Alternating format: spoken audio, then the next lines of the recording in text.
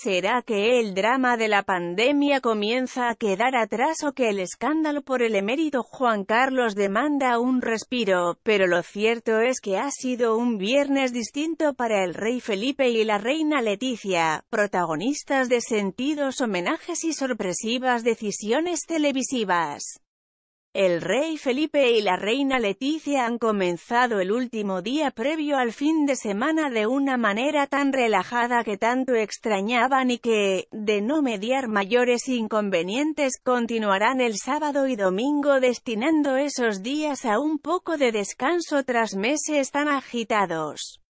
Como muestra de todo lo que decimos, está lo que el rey Felipe y la reina Leticia han protagonizado con el programa La Resistencia, de la plataforma Movistar más que resultó ganadora que ya se ha alzado, el ciclo se renueva maravillosamente temporada tras temporada ahora ha sumado a sus fanáticos más famosos en un abrir y cerrar de ojos, el éxito es tan evidente que el rey Felipe y la reina Leticia ya se han comunicado con el programa.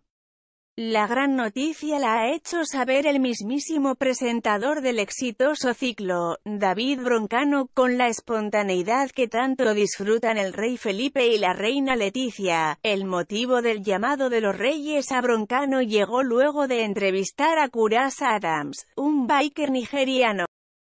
Adams estaba contando sus problemas para competir de forma internacional por sus problemas con el pasaporte. El conductor broncano, en el acto, se mostró dispuesto a solucionarlo y pensó en voz alta en los contactos que podría tener, nada más y nada menos que el rey Felipe y la reina Leticia. Si bien al evento irá más gente, el conductor del programa no ha podido ocultar su emoción y nerviosismo por la gran gala que le espera. Pese a que ha hablado con ironía y sarcasmo de la familia del rey Felipe y la reina Leticia, llegó la invitación y reconoció, la verdad no sabía qué hacer. Aplauso.